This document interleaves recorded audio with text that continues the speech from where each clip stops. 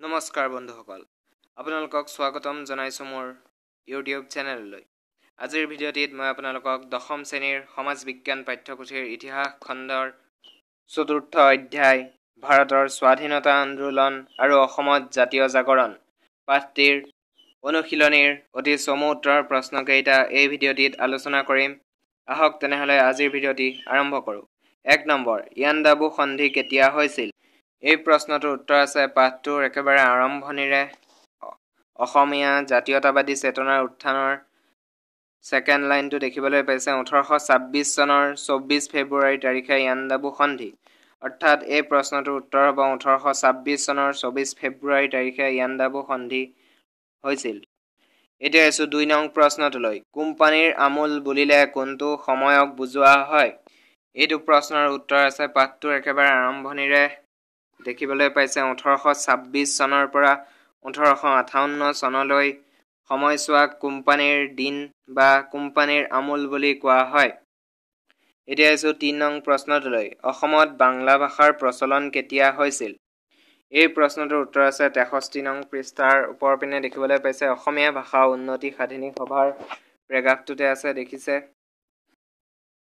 ওঠৰশ ছয়ত্ৰিছ চনৰ পৰা বাংলা ভাষাৰ প্ৰচলন কৰা চৰকাৰী অৰ্থাৎ এই প্ৰশ্নটোৰ উত্তৰ হ'ব ওঠৰশ ছয়ত্ৰিছ চন।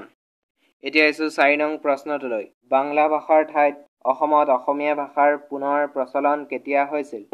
এই প্ৰশ্নটোৰ উত্তৰ আছে তেষষ্ঠি নং পৃষ্ঠাৰ ওপৰত দেখিবলৈ পাইছে। অসমীয়া ভাষা উন্নতি সাধিনী সভাৰ প্ৰেগাপটোত ওঠৰশ তেসত্তৰ চনত অসমীয়া ভাষাক স্কুল অফিচ কাছাৰীত মাধ্যম হিচাপে পুনৰ প্ৰতিষ্ঠা কৰা হৈছিল। অৰ্থাৎ এই প্ৰশ্নটোৰ উত্তৰ হ'ব ওঠৰশ তেসত্তৰ চন। এইবাৰ আহিছোঁ পাঁচ নং প্ৰশ্নটোলৈ। অসম ছাত্ৰ সন্মিলনৰ মুখপত্ৰ কি আছিল? এই প্ৰশ্নটোৰ উত্তৰ আছে পঁয়ষষ্ঠি নং পৃষ্ঠাৰ ওপৰৰ পিনে দেখিবলৈ পাইছে অসম ছাত্ৰ সন্মিলন। ইয়াৰে মাজভাগত আছে দেখিছে? ছাত্ৰ সন্মিলনৰ মুখপত্ৰ আছিল মিলন। অৰ্থাৎ এই প্ৰশ্নটোৰ উত্তৰ হ'ব অসম ছাত্ৰ সন্মিলনৰ মুখপত্ৰ আছিল মিলন। এইবাৰ আহিছোঁ ছয় নং প্ৰশ্নটোলৈ। ৰায়ত সভাসমূহৰ মুখ্য উদ্দেশ্য কি আছিল?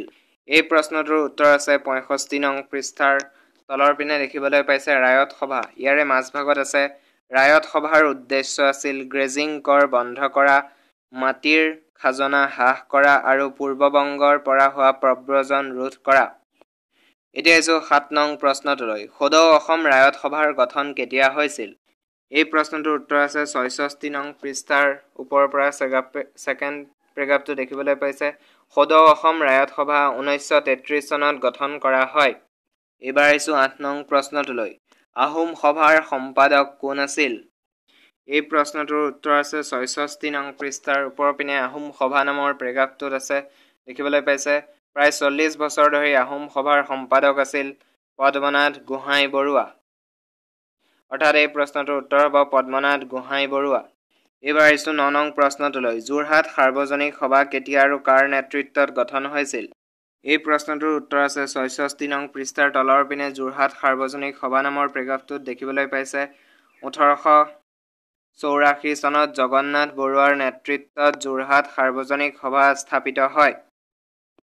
এইবাৰ আহিছোঁ দহ নং প্ৰশ্নটোলৈ। অসম প্ৰদেশ কংগ্ৰেছ কমিটিৰ প্ৰথম সভাপতি আৰু সম্পাদক কোন আছিল? এই প্ৰশ্নটোৰ উত্তৰ আছে ঊনসত্তৰ নং পৃষ্ঠাৰ ছেকেণ্ড পেৰেগ্ৰাফটো দেখিবলৈ পাইছে। অসম প্ৰদেশ কংগ্ৰেছ কমিটিৰ প্ৰথমজন সভাপতি আছিল কুলধৰ চলিহা আৰু সম্পাদক আছিল নবীন চন্দ্ৰ বৰদলৈ। এইবাৰ আহিছোঁ এঘাৰ নং প্ৰশ্নটোলৈ। অসম প্ৰদেশ কংগ্ৰেছ কমিটিৰ আনুষ্ঠানিকভাৱে নিৰ্বাচিত প্ৰথমজন সভাপতি কোন আছিল? এই প্ৰশ্নটোৰ উত্তৰ আছে ঊনসত্তৰ নং পৃষ্ঠাৰ ওপৰৰ পৰা তিনি নম্বৰ পেৰেগ্ৰাফটোত দেখিবলৈ পাইছে। অসমত প্ৰদেশ কংগ্ৰেছ কমিটিৰ আনুষ্ঠানিকভাৱে নিৰ্বাচিত হোৱা প্ৰথমজন সভাপতি আছিল বিষ্ণুৰাম মেধি। এইবাৰ আহিছোঁ বাৰ নং প্ৰশ্নটোলৈ। অসমৰ প্ৰথম প্ৰধানমন্ত্ৰী কোন আৰু কেতিয়া নিৰ্বাচিত হৈছিল? এই প্ৰশ্নটোৰ উত্তৰ আছে ঊনসত্তৰ নং পৃষ্ঠাৰ ওপৰৰ পৰা তিনি নম্বৰ পেৰেগ্ৰাফটোত দেখিবলৈ পাইছে। ঊনৈছশ ছয়চল্লিছ চনৰ সাধাৰণ নিৰ্বাচনত বৃহৎ জয়েৰে কংগ্ৰেছে সংখ্যাগৰিষ্ঠতা লাভ কৰিছিল আৰু গোপীনাথ বৰদলৈ অসম প্ৰদেশৰ প্ৰথমজন প্ৰধানমন্ত্ৰী বৰ্তমান মুখ্যমন্ত্ৰী হিচাপে নিৰ্বাচিত হৈছিল। অৰ্থাৎ এই প্ৰশ্নটোৰ উত্তৰ হ'ব ঊনৈছশ ছয়চল্লিছ চনত গোপীনাথ বৰদলৈ। এইবাৰ আহিছোঁ তেৰ নং প্ৰশ্নটোলৈ। কুশল কোঁৱৰক কি অপৰাধত ফাঁচি দিয়া হৈছিল? এই প্ৰশ্নটোৰ উত্তৰ আছে চৌসত্তৰ নং পৃষ্ঠাৰ একেবাৰে তলৰ পিনে দেখিবলৈ পাইছে। সৰু পথাৰত ৰেল বগৰোৱাৰ অভিযোগত কুশল কোঁৱৰক ফাঁচি দিয়া হৈছিল অৰ্থাৎ সৰু পথাৰত ৰেল বগৰোৱাৰ অভিযোগত। এইবাৰ আহিছোঁ চৈধ্য নং প্ৰশ্নটোলৈ। গুৱাহাটী বিশ্ববিদ্যালয় কেতিয়া স্থাপিত হৈছিল? এই প্ৰশ্নটোৰ উত্তৰ আছে সাতসত্তৰ নং পৃষ্ঠাৰ। দেখিবলৈ পাইছে ওপৰৰ ফালে গুৱাহাটী বিশ্ববিদ্যালয়। ঊনৈছশ আঠচল্লিছ চনৰ ছাব্বিছ জানুৱাৰী তাৰিখে গুৱাহাটী বিশ্ববিদ্যালয় স্থাপন কৰা হৈছিল। এইবাৰ আহিছোঁ পোন্ধৰ নং প্ৰশ্নটোলৈ। অসম চিকিৎসা মহাবিদ্যালয় আনুষ্ঠানিকভাৱে কেতিয়া নামাংকৃত হয়? এই প্ৰশ্নটোৰ উত্তৰ আছে আঠসত্তৰ নং পৃষ্ঠাৰ ওপৰ পিনে দেখিবলৈ পাইছে ফটোখনৰ।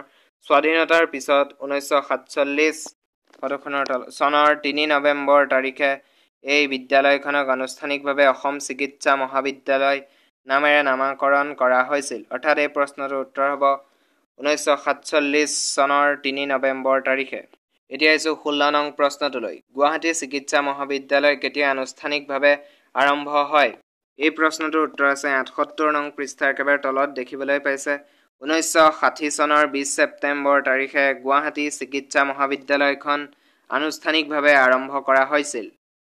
বন্ধুসকল আজিৰ ভিডিঅ'টিত মই আপোনালোকক দশম শ্ৰেণীৰ সমাজ বিজ্ঞান পাঠ্যপুথিৰ ইতিহাস খণ্ডৰ চতুৰ্থ অধ্যায় ভাৰতৰ স্বাধীনতা আন্দোলন আৰু অসমত জাতীয় জাগৰণ পাঠটিৰ অনুশীলনীৰ অতি চমু উত্তৰৰ প্ৰশ্ন একৰ পৰা ষোল্ললৈকে এই ভিডিঅ'টিত আলোচনা কৰিলোঁ।